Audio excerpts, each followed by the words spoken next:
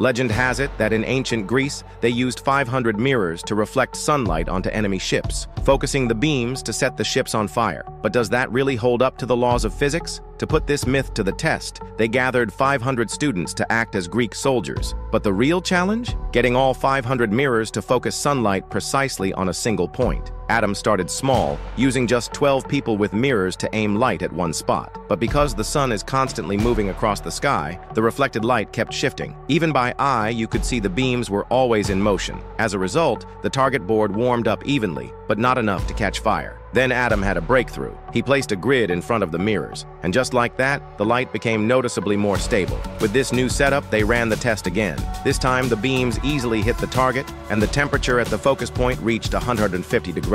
With the small-scale test a success, it was time for the real deal. They lined up 500 soldiers along the shoreline. In a perfect scenario, every mirror would reflect sunlight onto the enemy ship's sail. The ignition point of the sail, 410 degree hours. Jamie piloted the enemy ship and parked it 400 feet from shore. At Adam's signal, all 500 students aimed their mirrors at the sail. The resulting glare was so intense, it nearly blinded Jamie. After 15 minutes of concentrated sunlight, the sail's temperature reached only 200 degrees, enough to make Jamie feel the heat, but not enough to ignite the fabric. And in real battle, 15 minutes would be more than enough time for the enemy to approach. Jamie steered the ship closer, just 100 feet from shore. This was their final shot. Even at that short distance, with 500 beams of sunlight aimed squarely at the sail, it still didn't catch fire. The temperature maxed out at 230 degrees and refused to climb any higher. Unfortunately, the myth was busted. It seems Archimedes likely wasn't trying to burn enemy ships with sunlight. He was probably using the glare to blind and disorient the sailors instead.